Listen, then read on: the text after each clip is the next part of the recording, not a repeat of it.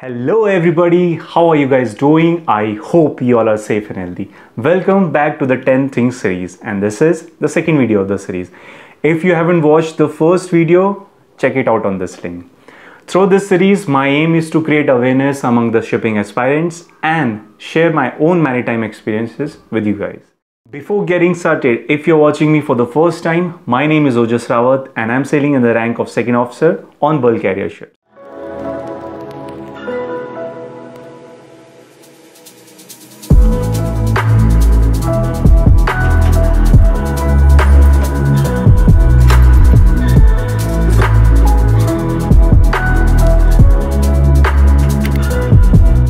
Okay, today's video is about 10 things to look out for when you join your first ship as a trainee and are about to complete your sea time. Point number one what all things to pack in your luggage and what not to.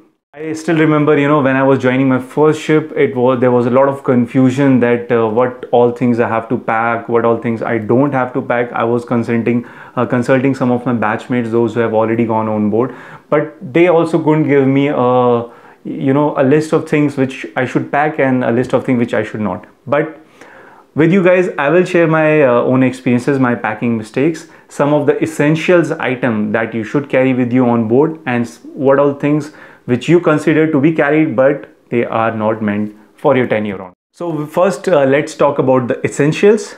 All season clothing. See, on board, uh, ship route is never fixed. You know, you will have a voyage going from uh, Asia to Africa, South America, Europe. Sometimes you'll do transatlantic. Sometimes you'll be traveling in, from tropical zone to winter zone. So, route of a ship, a voyage of a ship is never fixed. So, you should carry all season clothing in my opinion uh, carry some of the winter wears summer wears as well. But don't carry too much guys.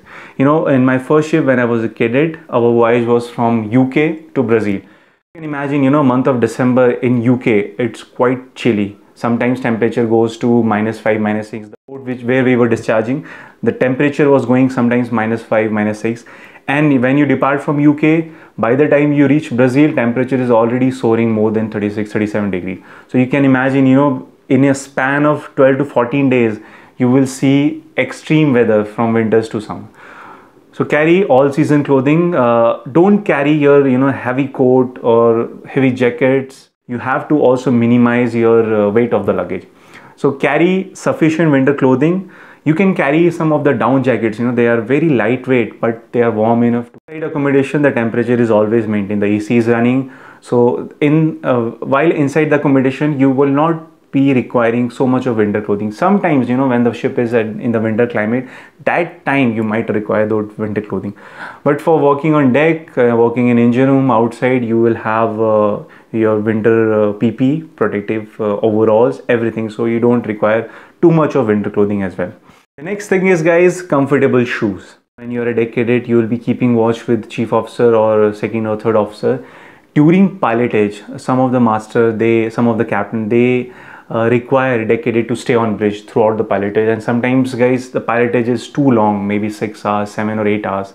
Though you will not be working for a state of six to seven hours, but let's say if you're keeping a watch for uh, four hours at a stretch, if you don't have comfortable shoes uh, in your uh, with your uniform guys it will hurt you a lot. Seriously believe me because i have gone through that phase. In my first ship i, ca- I carried those uh, fancy type of uh, formal shoes. And when i was on the bridge and there was long pilotage for five hours after one and one and a half hour my heels started to ache. Okay the other thing is universal adapter See, uh, you leave from India and you're joining us from Korea, Japan, Australia, anywhere, any part of the world. Power socket in those countries are different. You know, let's say you join, you're joining a ship from Australia, and then you have a hotel stay of one or two days.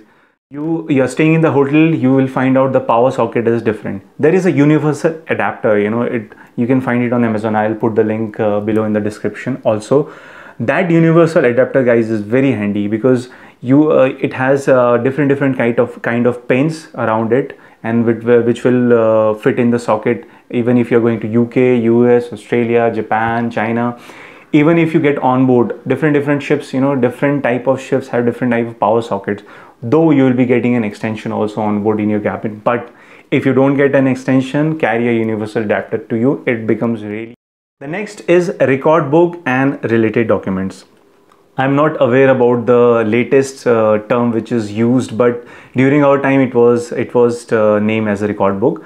As a trainee deck or as a junior engineer, when you'll be going on ship uh, during your sea time, your training time, you'll be carrying a record book and other related documents with you. Next thing guys is medicines. If you're on any kind of medication or you're taking any medicine on a regular basis, please carry a prescription of those medicines by an authorized doctor. What happens guys in some of the port in the country in uh, different countries you know some medicines are not allowed unless and until you're carrying a valid prescription along with you. So if you're uh, if you're taking any medicine on a regular basis carry a prescription from a doctor. Also in that prescription it should be mentioned that you have to carry this much amount of medicine along with every dosage how much you know every dosage counts Okay, now we will discuss some of the non-essential things that you should not carry along with you. First is stationery. Don't take any kind of stationery along with you guys. Don't take any uh, notebook, register, pen, pencil, eraser, sharpener, nothing because everything you will get on board. On board a ship, we have a dedicated stationery locker and you will find everything off for your use. The next thing is publications or books. Okay now you are joining your first ship uh, you will be thinking okay, okay i will i will take marpol i will take SOLAS i will take this that. Don't carry any of those publications on for your reading purpose. Everything you will find on board. Nowadays most of these publications are in uh, soft copy in form of ebooks so you don't have to carry them along with you. As far as your books are concerned your uh, course books my suggestion guys carry ebooks pdf copies soft uh, soft copies anything but don't carry you know the big big bulky books along with you. It will increase your weight of the luggage that's it. The next thing is your daily consumables be it shampoo be it, uh, be it face wash uh, toothpaste.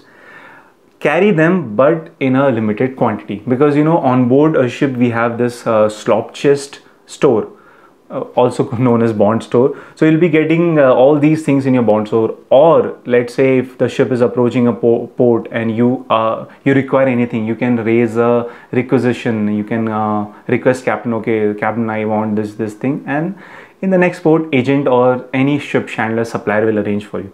So carry your uh, daily consumables but in a limited quantity. Don't carry too much along with you. Point number two. Pay extra attention during your onboard familiarization as soon as you get on board a ship, uh, you'll be given a safety familiarization tour by a junior officer or engineer, also accompanied by a senior officer or engineer. What does that mean, guys? Safety familiarization tour, especially for you or for all those who are joining a ship for the first time, is very, very important. Some of the main uh, topics or some of the main location which will be discussed in the familiarization, I will just point them out. They are muster station, lifeboat, location of life raft, life jacket, life buoys, emergency headquarters, CO2 room, emergency fire pump. Please carry out that properly, guys. If you don't understand anything during that familiarization tour, ask to your senior officer then and there. Don't keep anything with you. If you have a doubt about any safety equipment, about any procedure, ask them. If the time doesn't permit, because sometimes, you know, also uh, junior officer, senior officer, they have their own commitments to be done so if time doesn't permit, you can ask them later, but don't keep any doubts along with you. Please clarify your doubts regarding safety equipment, at least regarding lifeboats, how to, how, what all things you have to do during any emergency alarm. There will be uh, types of emergency alarm, fire alarm, abandoned ship, abandoned ship alarm, or emergency alarm. So what you have to do, what is your duty, what all duties you have on board during fire, during abandoned ship, you have to pay extra attention for location of life jacket location of life raft how you launch them your procedure. If you cannot do in a uh, you know quickly just keep on asking every day your senior officer okay this study yourself understand the procedure but clarify your doubts guys because that is very important for you. Point number three is safety first. See safety is the most important aspect you know this point will be a little longer in the video but please stay with me. I want to discuss a lot of things with you. On board a ship uh, you know once you get along with all the things you understands the you understand the procedure you you know how to do certain tasks your uh, senior officer or your onboard training officer will give you some jobs okay? Do this this this they, he will give you a set of procedures to be done. And also he will mention the safety scenario what all risks are associated with that task please pay your extra attention towards those things. Safety is very important guys. Although you are as a trainee your onboard training officer will be keeping care will be keeping an eye on you. He will train you okay do this like this and you know a lot of other things he will uh, make you understand procedure company procedure safety procedure. But for your what is your responsibility is to understand those things and implement when you are doing that task first of all uh, tell let me tell you guys it doesn't matter uh, you are at which rank you are on which ship.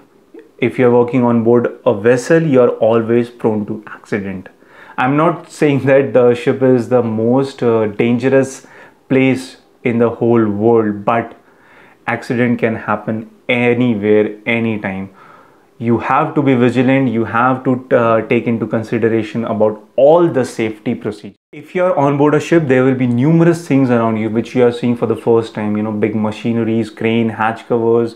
There will be numerous occasion when you will be assigned a certain task to be done you know on your own. Let's say you are going uh, together with a team of deck crew or engine crew but sometimes it might happen that your senior officer will assign you some task which you have to do on your own. You're alone in that uh, task uh, place location. Guys check around check for your safety on your own. Don't initiate anything which you don't know. If if you don't understand any instruction given to you by your senior officer if you don't understand any procedure please ask till your doubt are clarified. Because you know scanty information is very very harmful next thing is uh, whenever there are safety drills on board be it lifeboat be it uh, fire or another other type of emergency around carry out them properly observe things what all things are being done in different different scenarios learn for them from them. Uh, you understand the procedure what you should read the procedures to be followed in different emergency situation. From where you will get it? In the, inside the SOLAS training manual on board. Understand all these procedure thoroughly and then you also learn about the safety procedure of the company ask from your senior officer he will guide you. If you are assigned a certain task guys and you find that place is not safe or any hazardous thing is around you stop there and then proceed to your senior officer and inform him sir this is not correct in that location. I am stopping the work. Please uh, send help or please tell me what to do to minimize the risk in that situation. Point number 4 be observant at all times. When i was cadet i remember there was a captain. He used to tell me okay you have to learn one new thing every day and report to me in the evening that what you have learned and what how it improved your knowledge.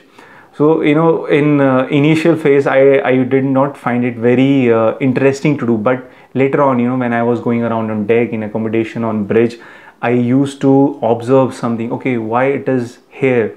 What is the use of this equipment? Why this thing is like this? Why it is not the other way around? So i keep on uh, asking question to myself. If i can figure it out well and good. If not i i used to ask my senior officer okay so please clarify me this. Please uh, make me understand this. And that really helped me a lot you know. Uh, that was for a shorter short uh, tenure but it really helped me a lot. It i further increase my knowledge about various machineries on board a ship on deck on bridge in engine room etc and also you know he used to tell me that uh, see just there are a lot of things going around a lot of operations are going around ship to uh, from daily to daily basis. You have anchoring you have hatch cover operation you have cargo operation mooring pilotage a lot of things are going around if you're there in that location if certain task is going and you are in that location you should be observant you should observe things how it is being done you know uh, if if you're going for a, assisting in anchoring to chief officer see how the anchor is being released, what all uh, equipments, what all machineries are required, what all uh, hours are required, and a lot of other things, you know. Point number five when in doubt, spit it out.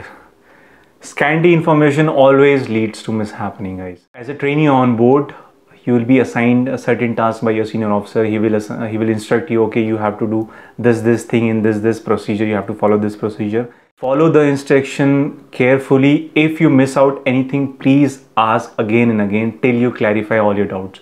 Don't proceed to do that task with any scanty information. That will will be very catastrophic guys because I have I have uh, experienced during my tenure sometimes you know you don't understand a set of instruction. Without repeating it or without uh, clarifying those instruction you go ahead and to do the task and it becomes total disaster. Always try to keep uh, the loop of communication complete. Let's say you are uh, you are communicating on a walkie-talkie. When you go on board a ship uh, you will be dealing with a walkie-talkie. You'll be communicating with other officer or crew deck crew on a walkie-talkie keep your communication loop complete so that you know if somebody orders you or somebody instructs you anything on walkie talkie he calls upon you you reply in that manner. Or if you don't understand anything due to numerous reasons due to wind or you know the signal are not so good you repeat those instructions so that you don't make any kind of mistake. Usually on board we have a multilingual crew. Uh, there are people from different part of the world and then they have their different accent to speak english uh, let's say in a situation you are communicating on a, walkie-talkie or you're communicating over phone and you don't understand a certain part of the instruction because because of the accent you know they have different accent. Everybody is having different accent to speak english. You don't understand a certain part of the instruction. Please clarify it then and there. Repeat the instruction. Ask him politely. If he's your senior ask him politely. Okay sir i don't understand this this this. Please clarify me so that you know the loop of communication is complete and there are no mishappening. Point number six don't get yourself involved in groupism or irrelevant conversations. Within initial months uh, of your contract, you will realize, guys, that politics does exist on board a ship. As a trainee, already you have very less time to take a rest or to relax because you have tasks to do. Then you have your record book to be filled and other you have to study as well.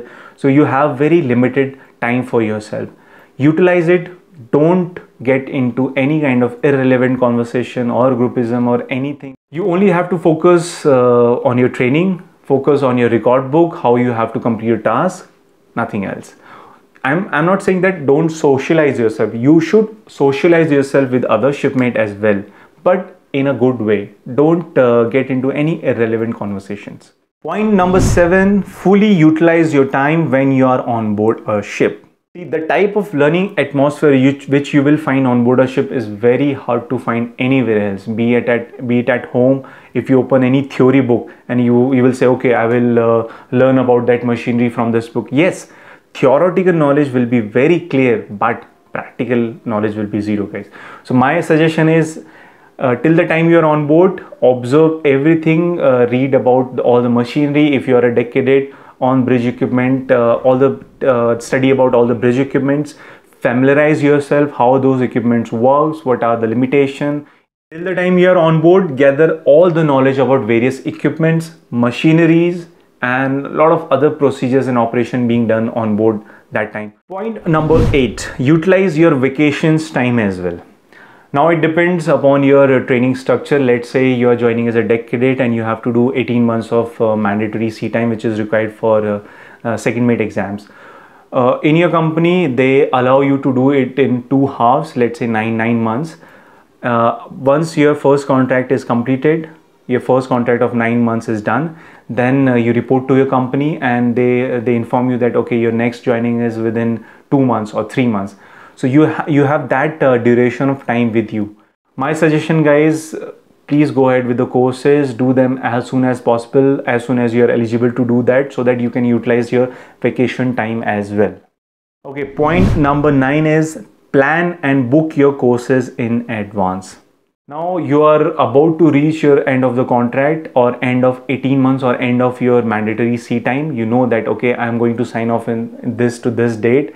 Uh, it might not be so accurate but let's say 10 15 days plus minus you know that okay i'm going to sign off on this date. You can book your courses in advance according to that date. So that uh, you know once you get off from the ship you don't have to search for colleges all around okay. Sometimes you know it happens that uh, some of the colleges they, they don't have enough uh, vacancy to uh, accommodate or more candidates. And let's say if you want to do some course from your hometown hometown or a city which is near to your hometown and then you realize later that okay because I did not book my course in advance I don't have any seat now. My suggestion guys plan and book your courses in advance. Once you are about to reach the end of your sea time you can do it online or some of your friends those who are at home you can ask them to book your courses. But try to plan and book your courses in advance so that you don't waste time once you uh, get off from the ship. Point number 10 is check all the certificates and sea service letters. Guys this is the last point but this is the most important point. Now you are about to sign off. Uh, your mandatory sea time which is required for your exams is done. You are going home please check all your documents. You should check your seaman's book or your CDC for correct dates. Record book which is should be complete and duly signed. Sea service letter check whether you require any stamp or sign. That's all in this video guys. I hope this video was informative for you. If so please hit like share the video and please do subscribe the channel. I'll be coming up with more informative videos in this series stay tuned for them I'll see you in the next one. Till then, be safe and take good care of yourself.